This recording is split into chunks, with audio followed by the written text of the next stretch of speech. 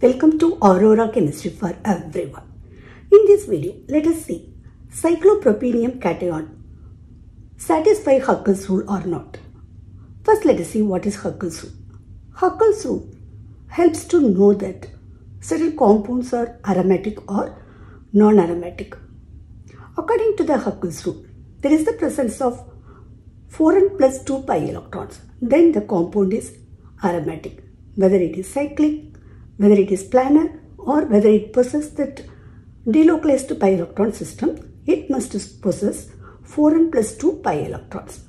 Let us see that whether cyclopropenium cation satisfy that Huckel's rule or not. Cyclopropenium cation is formed from cyclopropene. Its molecular formula is C3H4. Ions are formed whenever a molecule loses or gains electron. So let us see how this compound is formed. Cyclopropene. First let us draw. There are three carbon chain. Then hydrogen. There is a double bond. Then after that two hydrogen atoms. So this is cyclopropene. This cyclopropene cation is formed by losing the H minus ion. So whenever H minus ions are removed, it takes the electron away from the bond formation. So because of that, there is a shortage of electron on this carbon and this carbon now possesses positive charge. So let us draw CH, CH, double bond.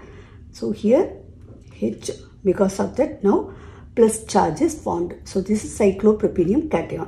So this compound is cyclic and also follow that Huckel's rule or not let us see.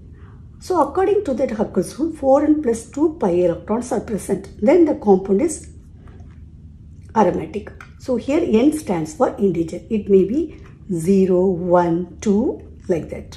So if n is equal to 0 then 4 into 0 plus 2 we will get 2 pi electrons. If n is equal to 1 4 into 1 plus 2 6 pi electron. It means there is the presence of 2 pi electrons, 6 pi electrons in a compound, then the compound is aromatic.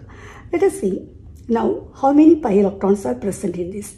So here we have that one double bond, it means 2 pi electrons are present. Then what about this plus charge? Here it is, there is a shortage of electron on this carbon. So because of that there is no lone pair electrons. So only this compound possesses 2 pi electrons. It means it satisfies that Huckel's rule 2 pi electrons are present. Because of that it obeys that Huckel's rule. So this compound is also aromatic. Thanks for watching.